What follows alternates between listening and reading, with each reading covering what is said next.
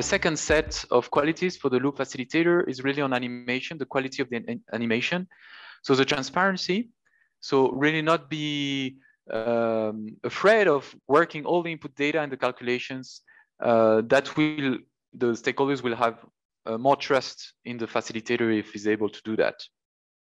The humility, of course, so the facilitator is is not the data holder, but really is looking at the stakeholders, the real ones, holding the information, the input data, the definition of scenarios.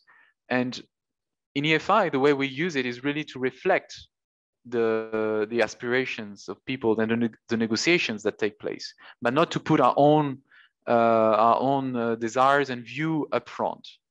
Uh, this goes back also to what James was uh, telling and we don't rush into conclusions. So we maybe we, we go 10 times to see the results and, and change the input data. That's the next uh, quality uh, that we have here, which is valuing iteration. So we're prepared as many, as many times as needed to go back and adjust the input information. We value more the stakeholder negotiation process on having well-defined scenarios than the actual results.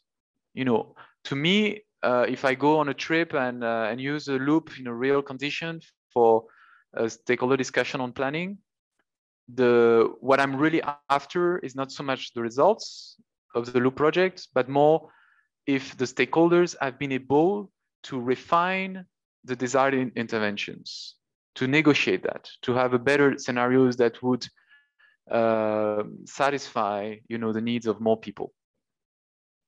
And in doing that, uh, throughout our work, not just on planning, on inclusive land use planning at EFI, we try to have present in mind each time we do facilitation about the principle of systemic thinking. Uh, this is, from our perspective, what we think is really key to build trust in a participatory process, constantly caring about three principles, the inclusion, so constantly asking ourselves, is there any important stakeholder group missing around the table? Structure, is the process clearly structured? The leadership clear? Is there a neutral facilitator? Is a facilitator really neutral? And equity.